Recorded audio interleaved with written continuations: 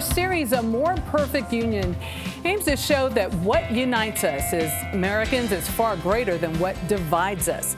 Millions of students across the country will return to school this week after the holidays. So we're looking at a program that brings a special kind of love and encouragement into classrooms that need it. Jan Crawford is in Washington where grandparents are part of the lesson plan. Jan, good morning.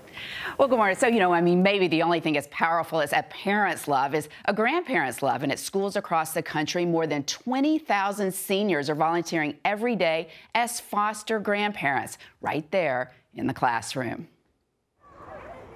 As the day begins at Excel Public School in southeast Washington, there are a few mature faces among the young girls rushing to class. Good morning. Wearing blue aprons and serving up hugs are six foster grandmothers. You baby with the caboose. Working alongside the school's teachers to help students succeed.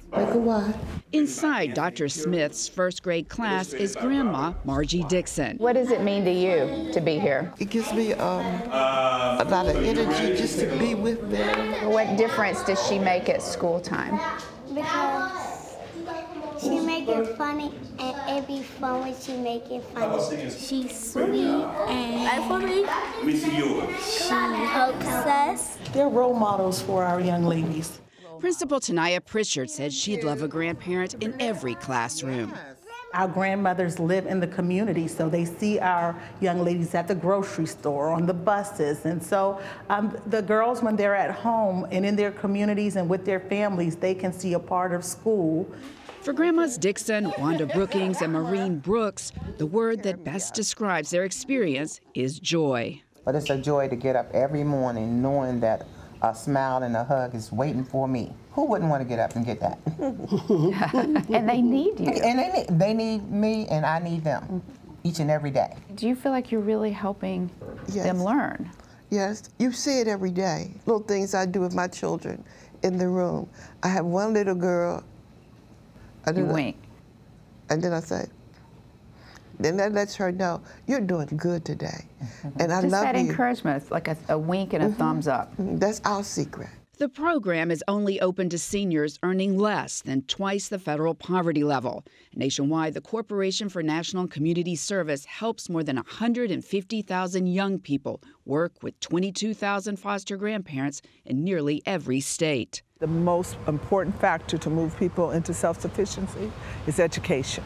Cheryl Christmas runs the DC program, one of the largest in the country. We try to match individuals in areas and in schools and early childhood that people are struggling. The kids benefit from the social emotional connection. And then for the grandparents, they too are learning. Seniors get help with everything from wills to annual physicals. A recent study found that nearly half of the program's volunteers report improved health after just one year.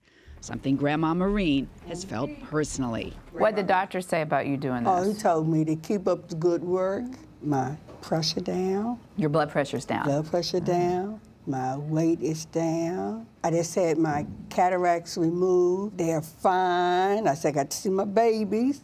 But for these grandmothers, the program's most valuable benefit is in the classroom.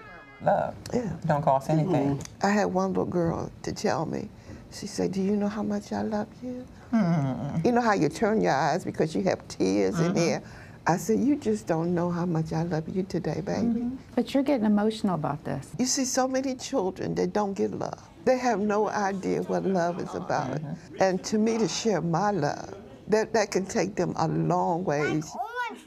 Now, the grandparents do get a small stipend, but of course, the value goes far beyond money for them.